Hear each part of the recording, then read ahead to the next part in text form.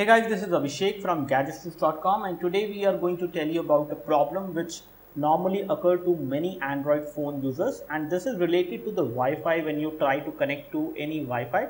Some of the Wi-Fi network have a problem of static IP and in that case when you try to connect to a Wi-Fi network it will say obtaining IP address and it will not get connected and you will see that message on your Android phone. So in case you are seeing that particular message, I'm going to tell you how you can fix it, how you can actually solve that problem.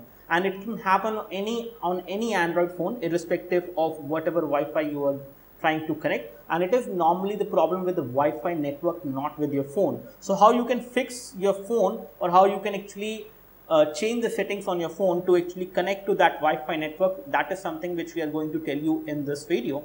So first of all, in order to access the Wi-Fi settings, you need to go into settings and go to the WLAN section over there. And for example, this is the Wi-Fi which you want to connect.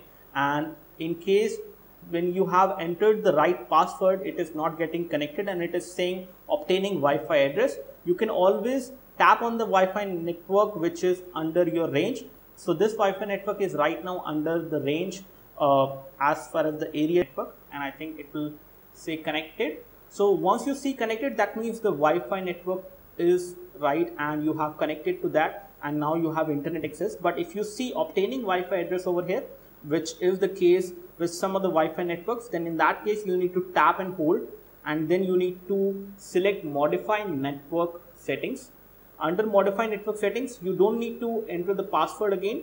You just need to tap on advanced option and over here you need to select manual under the IP settings or static. So you need to select static and now you need to enter the right IP address. It will already will give you an IP address format that how you need to write it. You just need to write the right IP address which should not have a conflict with any other device in the same network so normally each and every network has a subnet mask and as per that you enter the Wi-Fi address. So the first three digits will remain the same. The last digit actually varies and in this case uh, I can enter anything from 1 to 255. So I can enter 147 for instance which is a random number. Any number in between 1 to 255 you can enter here and it should not have a conflict with any other device which have the same IP address in this particular network. And once you do that, you don't need to alter anything else. You just need to click done or you need to just save it and then you will get connected to that Wi-Fi network. And this is how you can save or you, this is how you can actually solve the problem of your Android phone not connecting to not getting connected to a certain Wi-Fi uh, which is the case and it can happen on any Android phone.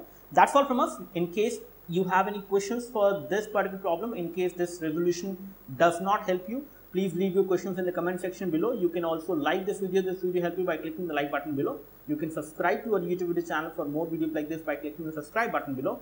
Thanks for watching this video. This is Abhishek signing off. Thank you.